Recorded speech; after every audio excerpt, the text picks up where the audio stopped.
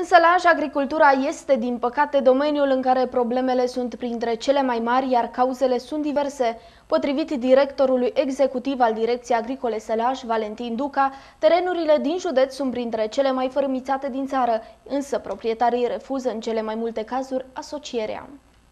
În povida problemelor, anul 2013 a fost din punct de vedere agricol unul deosebit de bun, a declarat directorul executiv al Direcției pentru Agricultură și Dezvoltare Rurală Sălaj, Valentin Duca. Acesta a adăugat că producțiile au fost unele foarte bune, mai ales la porumb și grâu, dar marea problemă cu care s-au confruntat fermierii a fost lipsa depozitelor de cereale și a uscătoarelor. Citez, recolta bună a făcut ca prețurile să scadă. Neavând depozite de cereale în județ, fermierii au fost nevoiți să vândă aproape totul imediat după recoltare pe marginea drumului. Asta este marea problemă. Toate depozitele au fost închise imediat după 1990, iar acum nu mai avem unde depozita.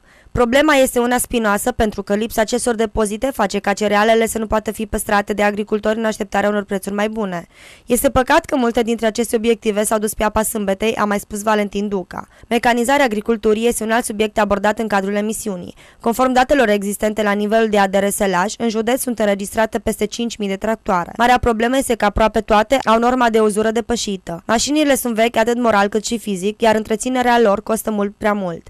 Întrebat care dintre ramuri ramurile agriculturii ar putea fi profitabile, directorul de ADR Sălaj, Valentin Duca, a fost de părere că o mare căutare au căpșunii, zmeura, afinele și alunele.